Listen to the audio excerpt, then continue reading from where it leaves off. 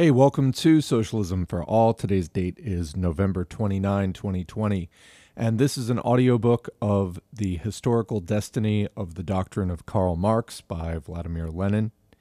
This audiobook is part of the 26 part series Basic Marxism Leninism Study Course. You can find that playlist on our channel, and that curriculum was originally put out by the MAI Anti Imperialist Movement. So, this essay was originally published in Pravda number 50, March 1, 1913, signed VI, and published here according to that Pravda text. The source is Lenin Collected Works, Progress Publishers, 1975, Moscow, Volume 18. Translated by Stepan Apresyan, transcription by Zodiac, HTML by Brian Baggins and D. Walters, and it's in the public domain, Lenin Internet Archive, 1996. Thanks, as usual, to Marxists Internet Archive, Marxists.org, which hosts this for free. Please go check out their site. They have thousands of Marxist texts for free online. Now into the audiobook. The chief thing in the doctrine of Marx is that it brings out the historic role of the proletariat as the builder of socialist society. Has the course of events all over the world confirmed this doctrine since it was expounded by Marx?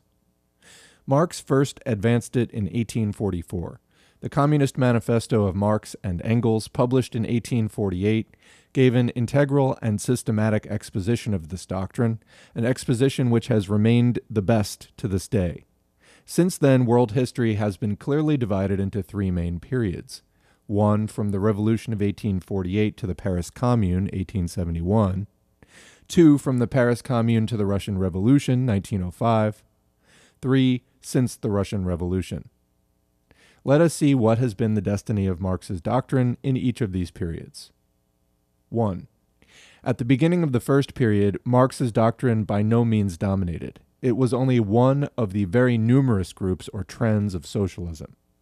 The forms of socialism that did dominate were in the main akin to our Narodism, in comprehension of the materialist basis of historical movement, inability to single out the role and significance of each class in capitalist society, concealment of the bourgeois nature of democratic reforms under diverse quasi socialist phrases about the people, justice, right, and so on. The Revolution of 1848 struck a deadly blow at all these vociferous, motley, and ostentatious forms of pre Marxian socialism. In all countries, the revolution revealed the various classes of society in action. The shooting of the workers by the Republican bourgeoisie in Paris in the June days of 1848 finally revealed that the proletariat alone was socialist by nature. The liberal bourgeoisie dreaded the independence of this class a hundred times more than it did any kind of reaction. The craven liberals groveled before reaction. The peasantry were content with the abolition of the survivals of feudalism and joined the supporters of order, wavering but occasionally between workers' democracy and bourgeois liberalism. All doctrines of non class socialism and non class politics proved to be sheer nonsense. The Paris Commune, 1871, completed this development of bourgeois changes. The Republic, i.e., the form of political organization in which class relations appear in their most unconcealed form, owed its consolidation solely to the heroism of the proletariat. In all the other European countries, a more tangled and less complete development led to the same result a bourgeois society that had taken definite shape. Towards the end of the first period, 1848 to 71, a period of storms and revolutions, pre Marxian socialism was dead.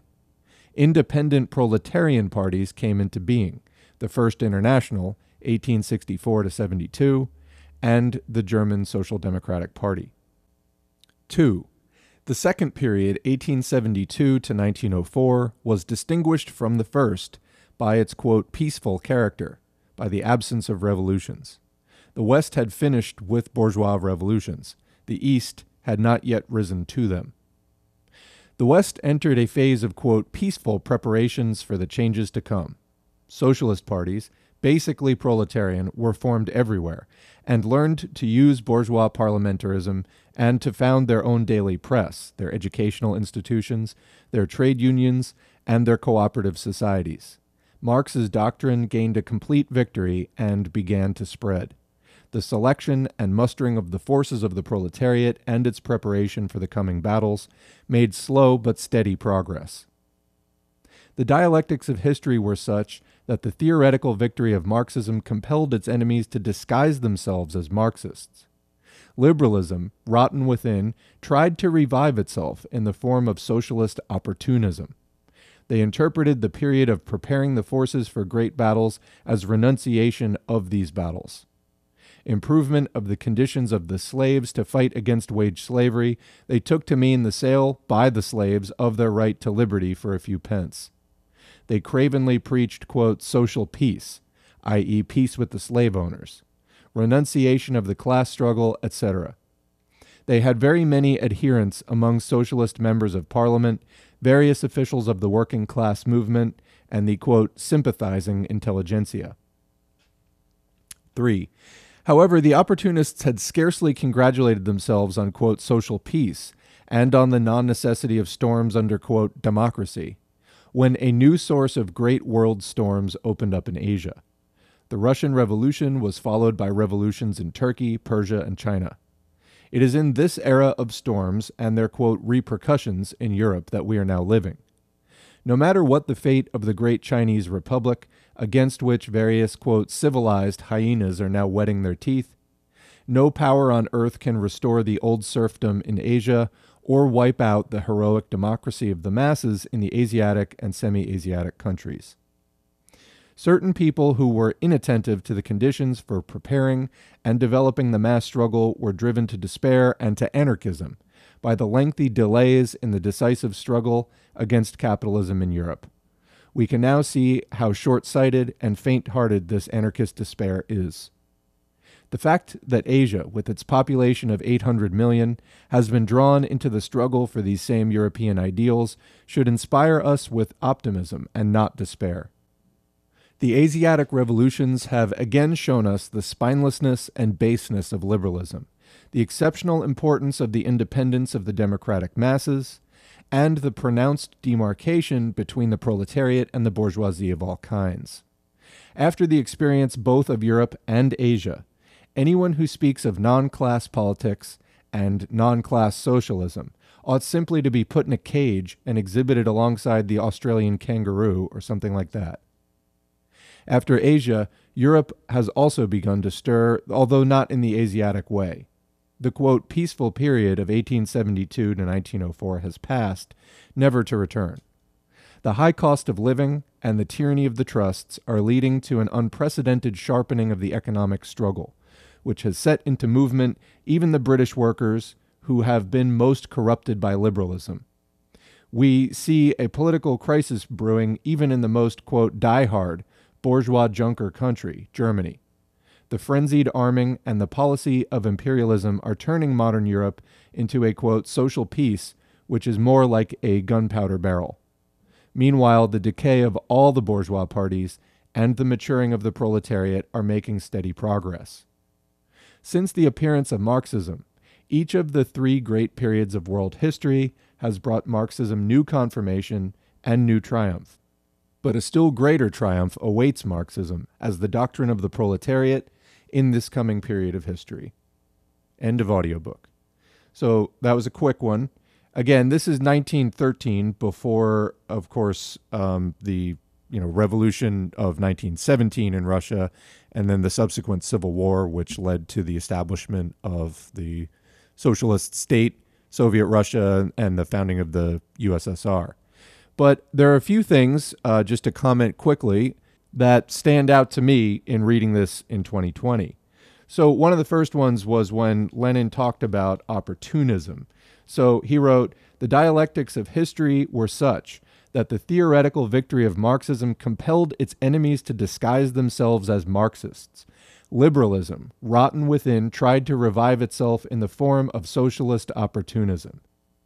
So, in other words, Marxism had shown itself to many, many proletarians that it was correct. It was capable of predicting history, that its grasp on capitalism was strong and correct and you know compelling, convincing. Uh, so the liberals, you know, losing the ideological battle, had to basically pretend to be Marxists, but then uh, they couldn't, of course, actually promote Marxism. They had to promote a watered down, corrupted version of Marxism that, uh, of course, you know, would just lead the workers back into slavery.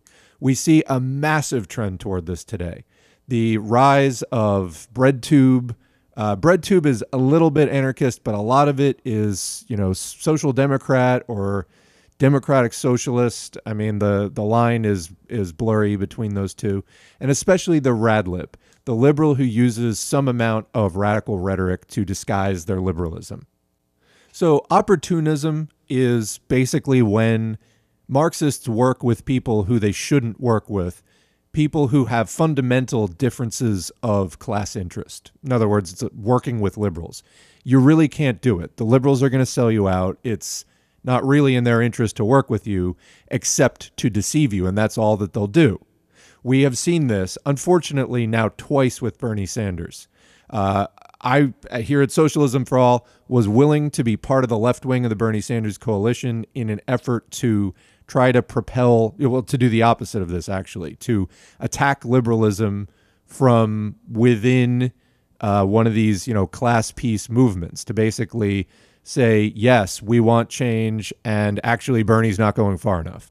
The squad and, you know, most of the Justice Democrats who are trying to reform and rebuild the liberal wing of the Democratic Party while using socialist language, you know, talking about FDR, who saved capitalism and was a social democrat, just a reform capitalist, as some kind of socialist. This is not what we need. FDR is why we're having the 2020 we're having, because he saved capitalism with the class peace. So, despite some recent comments by AOC that everything that she's tried to do in the Democratic Party hasn't worked, et cetera, that you know, basically the Democratic Party is a dead end, which I took as possibly, you know, optimistic uh, or viewed in an optimistic light as possibly good news that, hey, maybe AOC is going to start telling people to dem exit because that's really what we need people to do. You just can't work within a bourgeois party effectively as a socialist unless.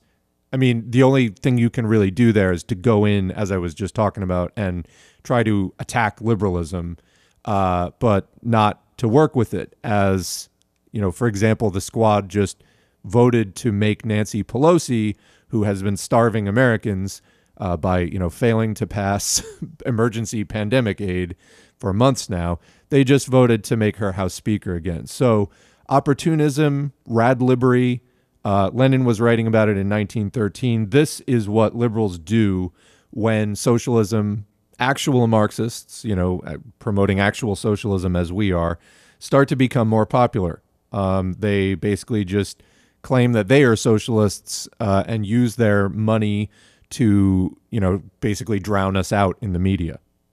So the other uh, topic here in point three, Lenin writes, however, the opportunists had scarcely congratulated themselves on, quote, social peace and on the non necessity of storms under, quote, democracy when a new source of great world storms opened up in Asia. So, in other words, uh, what is the social peace? Class peace, class truce. This is basically when the capitalists, feeling that they are sufficiently threatened, decide to say, hey, let's draw up a truce. You know, uh, the, the, the New Deal in the mid 1930s in the United States is a great example of this. It's like, oh, we just had a decade of the Coal Wars in the 1920s, which was the largest conflict since the Civil War, uh, which was basically people trying to resist, um, you know, the invasion of the the coal miners, capitalists uprooting people from the land in Appalachia, and uh, you know, and just um, broad labor union activity all across the United States in the 1900s, 19 teens, 1920s. FDR's faction of the ruling class, and he was absolutely a one percenter, said, you know, uh, let's throw these people a bone, we'll draw up a class peace, and then that will greatly diminish the threat of revolution. Now, capitalists, of course, at any time can do this. I mean, Lenin has pointed out in other works that it's actually incredibly cheap for capitalists to make some concessions. You know, by just paying 0.5% of their wealth, they can buy off the working class with remarkable ease. The fact that they crushed Bernie Sanders as hard as they did, uh, to me, speaks to, I mean, both their, of course, extreme arrogance, but possibly also to their fear that at this point things are so unstable and it may actually be the end of the line for capitalism that uh, they don't they're almost afraid to make concessions now fearing that people will just overrun them. That's entirely possible. I mean that was basically my proposal as far as working within the bernie sanders movement is that we use that to sort of get a leg up for actual socialism who knows uh, all i do know is that given the two options option a being leave the people who are currently in power in power, the people who hate us, have a long history of systemic violence against us, who have diametrically opposed interests to us, and who have the power to basically retract and extend offers at will. Uh, and we have almost no counterpower against it. Leave them in power, but try to get a few concessions from them. Versus option B, throw them out and we take power. Why would anyone really take option A? Of course, it might seem more daunting to do option B, but of course it's more desirable. Getting people to admit that, getting working people to admit that it is more desirable that we just take power is clearly, clearly a, a positive first step. If you can get somebody to at least own that desire, that's key. That's key. And may lead to changes down the line. Which I guess leads me to my concluding point. Lenin talks about uh, despair and delay leading to anarchism. Quote Certain people who were inattentive to the conditions for preparing and developing the mass struggle were driven to despair and to anarchism by the lengthy delays in the decisive struggle against capitalism in Europe.